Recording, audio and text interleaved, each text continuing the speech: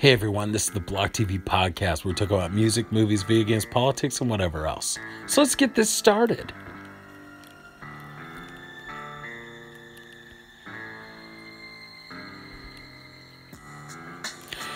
Hey everyone, how's it going? There's about six, seven minutes left till uh, midnight, so it's Monday. And uh, the ACLU has just sued Ben Carson. Um, this is brought to you by the ACLU.org, a nonpartisan um, organization that in DC where they fight for basically our civil liberties. They're the American Civil Liberties Union. Um, brought to you by the ACLU, it is no accident that much of the United States remains segregated. Decades of slavery, Jim Crow laws, discriminatory lending practices, and international policy choices, intentional policy choices. Sorry about that. At the federal, state, and local level, most of which were enacted within the last 80 years, helped make it so. The Fair Housing Act passed in 1968, just a week after Martin Luther King Jr. was assassinated, it was meant to address the decades of discrimination that led to such segregation, the FHA made it illegal to discriminate against anyone buying or renting a home because of their race, color, religion, sex, or national region. It's since been amended to include family status and disability too. But it has also sought to replace segregation in America with truly integrated and balanced living patterns by requiring agencies to affirmatively further fair housing and all programs related to housing. The FHA brought about a sea change with respect to individual housing discrimination. America's Americans today would be shocked to find an apartment listing that indicated black people or women with children could not apply. But its promise of integrating neighborhoods has been left largely unfulfilled. As former Vice President Walter Mondale, who co authored the legislation, pointed out recently in a New York Times opt, the FHA is the most ignored of the era's civil rights laws. It seems like Secretary Ben Carson, head of the Department of Housing and Urban Development, a fucking brain surgeon, seriously, would like to keep it that way. In January, the agency suspended the only regulation to ever give the FHA real leverage in ending segregation. The move puts housing inter- integration in serious jeopardy, so we're challenging it in court. Since it was enacted, successive presidential administrations largely ignored their affirmative obligations to create fair housing, allowing federal government's dollars to flow under, un, uninterrupted to cities and towns that policies in place that maintain segregation. Then in 2015, the Obama administration finally began to seriously address this issue by putting in place a regulation called the Affirmatively Further Fair Housing Rule, the HFFH. AFFH. The rule required cities and towns to create a plan to address segregation, discrimination, and to lay out concrete goals for bringing fair housing and opportunity to members of all the groups protected by the FHA before receiving government money. Examples of these goals include building affordable housing in areas well served by transit and prohibiting landlords from discriminating against people who use government subsidy to pay part of their rent.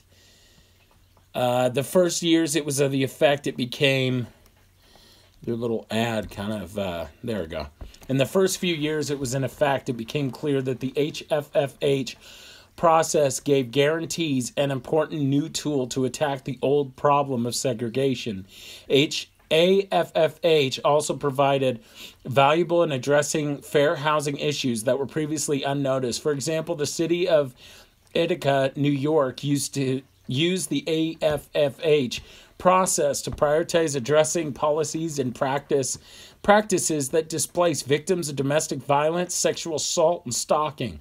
But in January, HUD announced that it would not require guarantees to engage in the AFFH process until 2020. at the earliest, and not because of the way the process is timed, not until 2024 in most cases.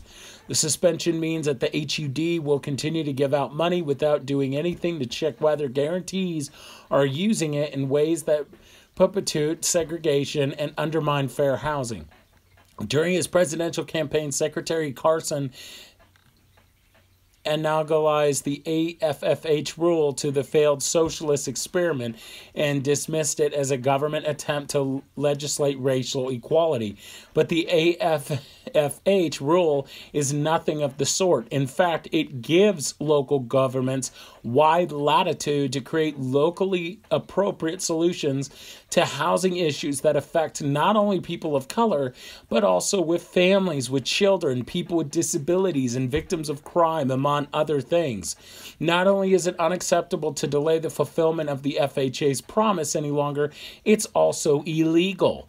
If HUD wanted to suspend the AFFH rule, the law requires that it provide the public with notice and an opportunity to weigh in. And HUD would have to replace the AFFH rule with something else that fulfills its statutory duty to affirmatively further fair housing. That's why we filed suit today on behalf of the National Fair Housing Alliance, Texas Low Income Housing Information Service, and Texas Appleseed three lending fair housing organizations whose work has been severely undermined by the suspension. Joining us to the co-counsel are the law firm of Relman, Dane, and Colfax, the Lawyers Committee for Civil Rights Under Law, the the NAACP Legal Defense and Educational Fund, the Poverty and Race Research Action Council, and Public Citizens Litigation Group. All the AFFH rule requires is that the community seeking federal housing dollars take steps to counteract the history of government sponsored segregation and to promote equal housing opportunities for all as the Fair Housing Act turns 50 and a presentially and illegally divided America. It's the least we can we can do. So this is on the ACLU, ACLU's uh, website. Um, and uh, the thing that pisses me off about Ben Carson is this is the same guy who lived off fucking governmental assistance. How is it that this brain surgeon can go on and on and talk shit about this being socialist when, you know, all of us just want healthcare, man. That's it. That's that's all people want. We just want fucking I mean, think about it. It's not that hard if people work together. It's just that people don't want to think about it. We want to live in a safe world. We want health care. We want gun violence. I mean, there was 22 shootings in Sweden last year. There was more than 12,000 last year in the United States. it's like it's just getting insane. It's like you know, I mean, and we already have and here's the thing, we already have socialistic tendencies. When FDR did the Social Security Act, that is socialism. Um, a lot of the stuff that Obama said, and the thing is, a lot of people go, "He's a socialist." Socialism isn't that bad of a thing. Denmark has been ranked the happiest country in the world, and they're socialist. They have maternity leave, they have less gun violence in the country, people have health care, everyone has health care, which is a right.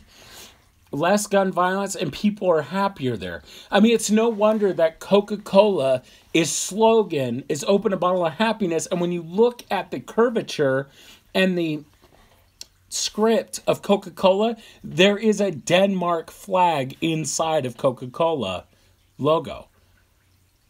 And their slogan is open a bottle of happiness. So, yeah, there you go. Even Coca Cola knows that if Denmark can be happy, opening a bottle of Coke should make you happy too. And look at Sweden, same thing. And their education system is better than ours. I mean, these these people here in the United States they can't even read an analog clock for crying out loud. So I'm glad that the ACLU is taking part and they're suing Ben Carson. Um, I'm like, this guy lived off food stamps. So I'm glad he's being sued. I think Ben Carson is an idiot. I don't know how the fuck he became, you know, housing and development. It's like, dude, you're a brain surgeon. Seriously, like the Trump administration is ridiculous.